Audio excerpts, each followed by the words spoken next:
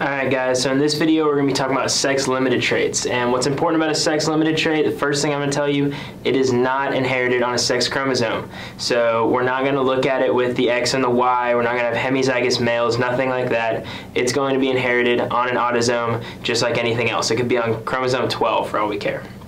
Um, what we're going to see with stuff like this is we're going to see it uh, a trait inherited like a normal autosome, but what's going to happen is it's only going to be expressed in one of the two sexes. So in this case, we're going to look at we can say something like a beard, right? So beards we're, and goats we're going to say um, are only expressed in males.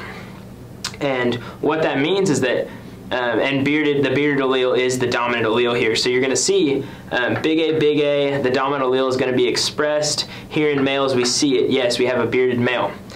But here in females, even though that female is big A, big A, you're going to see that the female is not going to show it. That's because this trait is limited just to males. So then we go down to our uh, heterozygote here, and again, because it's a dominant trait, our male is going to show it, but our female here is not going to show it again. And then when we go down here, just like any other trait, if it's a dominant trait and you're homozygous recessive, you're not going to show it. That's why neither our male nor our female here are going to have the trait. So we're going to go through, um, talk about some beards on some goats, um, whether if as if it was uh, inherited normally versus if it was inherited in a sex-limited fashion like we see here. So what we're going to answer here is what's the percentage of males that are going to have this trait um, whether it's normal or sex limited. So first we're going to do normal, and I'm to fill out my Punnett square just like normal here. And what we're going to get, just like you guys would expect by now with a uh, heterozygote being crossed with a heterozygote, is it's a 1 to 2 to 1. So what that means is we're going to have, because it's a dominant allele, um, we're going to have 3 to 1, and that 3 is going to be bearded and the one is non.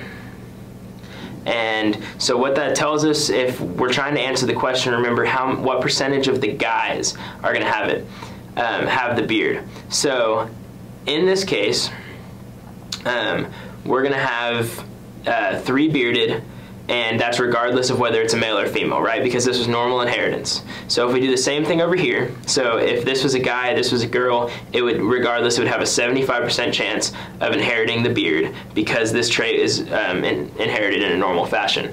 If this trait were inherited in a sex-limited fashion, our Punnett square would look the exact same, But what we're actually going to see here is um, the same percentage of males, right? So males, it's going to be 3 to 1 bearded versus non. But what are we going to see in females? Because this trait is limited this time to males, what we're actually going to see is that females, it's going to be 0 to 4 bearded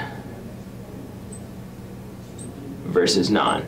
So you guys can see we drew our Punnett square the exact same way. We didn't worry about anything about sex chromosomes or anything like that because again, sex limited traits are on autosomes. They are not on um, your X and Y or your sex chromosomes. Um, so what we're going to see is the males, if it's a trait that's limited to males, it's going to be inherited completely normally it doesn't always have the trait, right? If it's a dominant allele and it's a homozygous recessive um, animal or whatever, then it's still not going to show the trait. So just because it's limited to males doesn't mean it's always in males. But our females here, this is where it's important. If our trait is limited to males, then we're not going to have any females that are going to show that trait. Um, and just to reiterate one more time, I know it can get confusing because you've got um, sex inherited traits, we've got sex limited traits, we've got um, other stuff like that. Um, and so we're going to touch on all that stuff. So just make sure you study it enough to where you can keep it uh, separated inside your head. I hope you found this video really helpful. The concepts and information presented in these videos will be true no matter what genetics class you are taking. However, the concepts in this video are referencing material from this specific textbook. Remember, if you are a currently enrolled Baylor student, we offer free tutoring on the first floor of Sid Rich. You may schedule a free 30-minute one-on-one tutoring session online or just drop in during normal business hours. For more information about our services, please visit our website www.baylor.edu/tutoring. Thank you.